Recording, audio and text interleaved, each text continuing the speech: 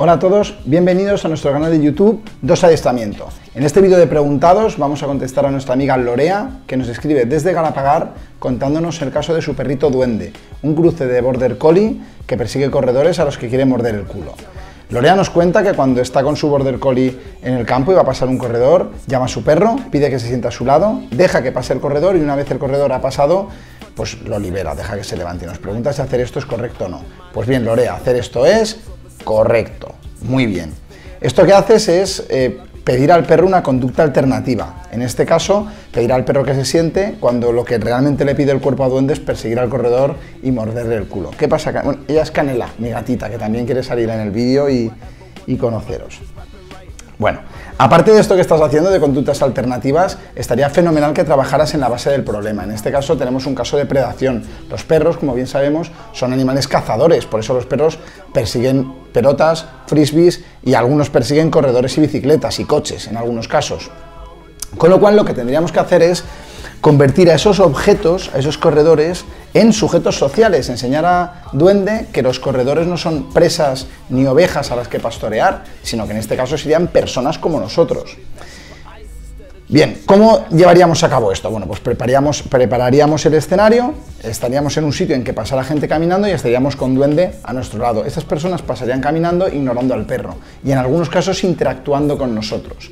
Hola, buenos días, buenos días, pasarían de largo. Algunas de esas personas también harían caso al perro. Hola, perrito, pasarían de largo.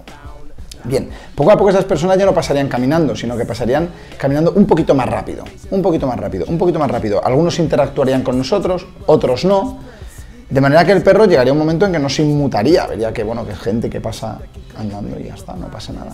Eh, con el transcurso de las sesiones esas personas pasarían trotando, pasarían corriendo, alguno pasaría sprintando, de manera que el perro poco a poco vería que no son ovejas, ni son presas, son personas como nosotros. Este mismo trabajo lo podemos plantear con perros que persiguen bicicletas. Algunos amigos eh, nos planteáis por redes sociales el mismo problema. Mi perro persigue ciclistas y ya me han echado la bronca y algún ciclista se ha bajado de la bicicleta y me ha montado un pollo. Bueno, pues haríamos exactamente lo mismo. Estaríamos con el perro en un sitio, con el perro sentado y pasaría un amiguete nuestro con la bici en la mano. Hola, buenos días, buenos días. Pasaría de largo.